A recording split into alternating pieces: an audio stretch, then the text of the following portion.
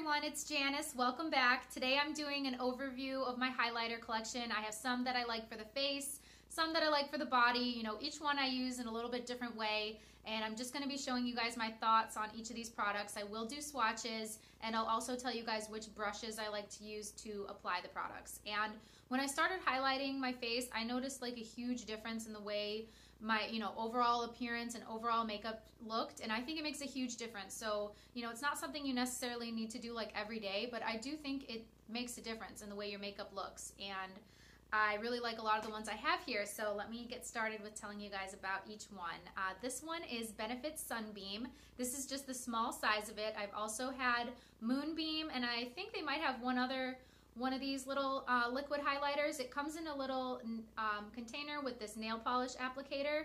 And this one I really like more so just in the summer because it's really like gold. This one I like to put on the top of my cheeks. Um, I don't really, um, you know, put this one under the brow. Those are the other places, you know, that I highlight would be like under the brow, top of the cheekbones, things like that. But this one I do like to use at the top of the cheeks, particularly in the summer. My favorite highlighter is probably the Dior Amber Diamond. I included this in my um, high-end um, products worth the hype video. I really think this product is worth the hype. It's an expensive product. I got it during a VIB sale, um, but it comes with a lot. It's got four different shades, so you can swirl them all together or use each one as you want. You can use it as eyeshadow. I just think this is so versatile. I think it's gorgeous. The effect is always just perfect. I kind of just swirled my finger through all four of the shades. So there's the swatch right there. Um, just trying to hold my hand different ways and see, you know, where it is that you guys are going to be able to see the swatch really well. I do absolutely recommend this product. I do not regret it whatsoever. It's perfect every time, year round. Love this one. This next product is actually a bronzer, but I used it more as a highlighter, and this is the Lorac Tantalizer. So this was just a little mini size of it. It's almost gone. And the way I apply this is like with a big fluffy brush. So I like to apply this on my legs in the summer. It kind of like, you know, bronzes them up a little bit. I don't use any self tanners or anything like that. But if I do just want like a little bit of color or a little bit of a sheen, I like to use this one. Let me do a swatch for you. I have tried to use this as eyeshadow before actually looks really sim, well, no. At first it looked kind of similar to the Dior Amber Diamond, but it's really not. This is a much deeper, darker bronze. I tried to use it as eyeshadow before. I didn't care for it as eyeshadow, um, but that's one thing. You can kind of experiment with your highlighters, and you don't necessarily just have to use them just as a highlighter. You can see what you like them for. Uh, next, I didn't really care for this either, but you know, I think that's helpful too, not just to tell you guys my favorites, but ones that, you know, maybe didn't work out for me so much. I am a big fan of the Tarte brand, but this is the Tarte Smooth Operator. I think this was like an illuminizer is the way they advertise this, so you can mix it with your foundation. Um, I'm not going to do, you know, a swatch of this because this product is just kind of strange. It has like an odd consistency. It's kind of like yellowish and like runny and I just don't really care for the way this this swatch is. So sorry for not being you know helpful with the swatch here, but it really is like gross, and it's probably gonna like run all over my hand. Um, if you have dry skin or if you need more of like a luminous all over look, you might like this. Um, you know, like I said, I do love the Tarte brand. This was a free sample. Thankfully, this is not something that I would buy. Um, Laura Mercier Shimmer Bloc in Golden Mosaic. I love this one. I got this in a 500 point perk.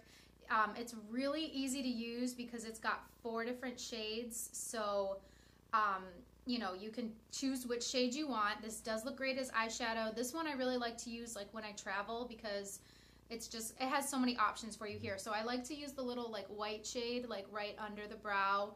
Um, and i like to use like kind of swirl all the shades together to do on the top of the cheekbones. This little white right here looks great on like the top of the cupid bow if you want a little bit of a pop there. I'm not really sure how to do a swatch for you guys of this one. Let me just i'll kind of swirl my finger through the bottom three and not the brown because the brown really just will make the swatch turn like super brown I'm putting this one all the way, it's gonna be this one right here, okay?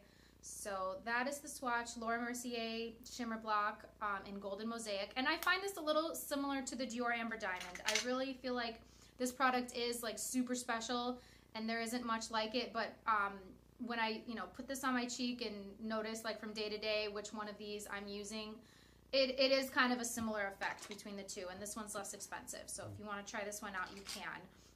Uh, this one, I'm trying to decide how I feel about this. I got this in the birthday perk recently, so this is a benefit Watts Up.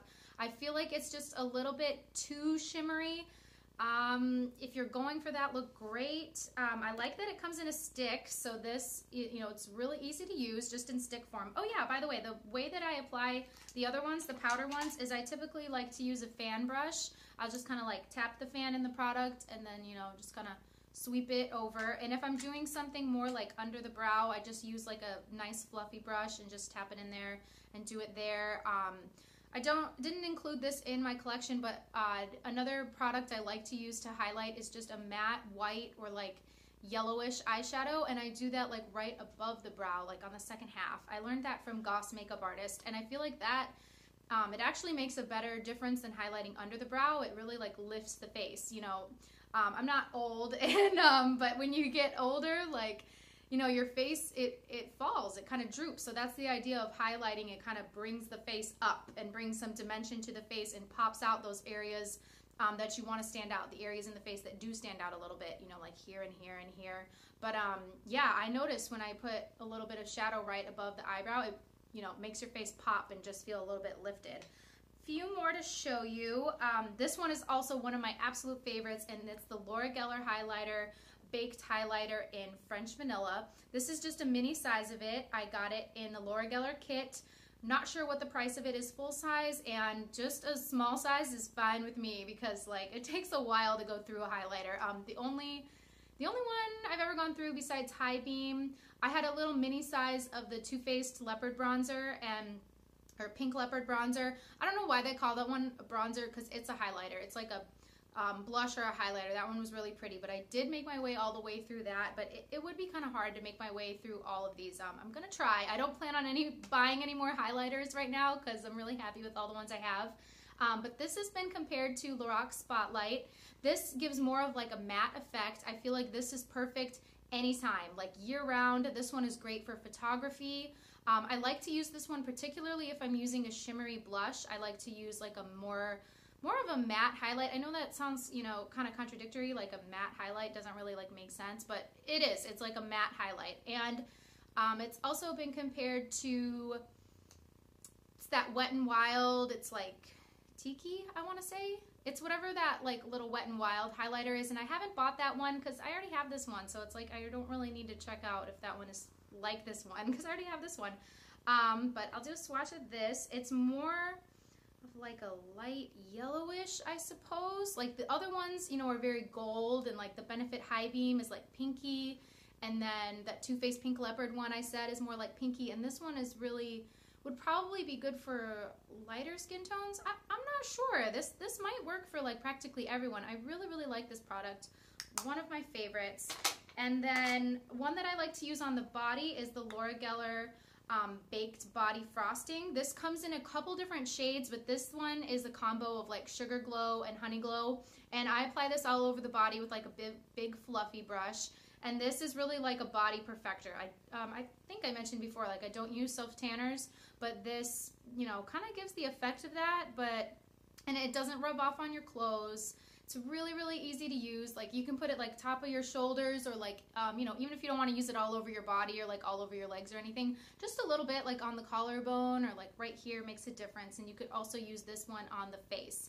And this also comes in a darker shade, which I don't have. I think it's Tahitian Glow. So this is Sugar Glow and Honey Glow. And I will do a swatch of each side for you. So here's the deeper brown shade right there. It's going to be my bottom one there. You try and turn this a little bit till you can see it. There you go. So that's the darker shade. And let me do the lighter one for you too. Running out of space. I need a bigger hand. Um, there we go. Yeah, that's super, super pretty.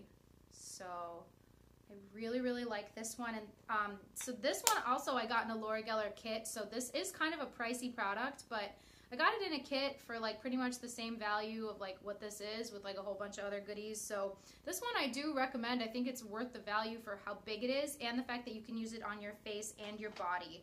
And then, you know, like I said, just to sum it up, this one also really like the Laura Geller one and the Dior Amber Diamond is just, ah, it's just so special and like luxurious. Like you don't have to have this. It isn't like a must have, but like I said, it, it really is worth the money. And if you were to get this one, I just don't think you'd be disappointed.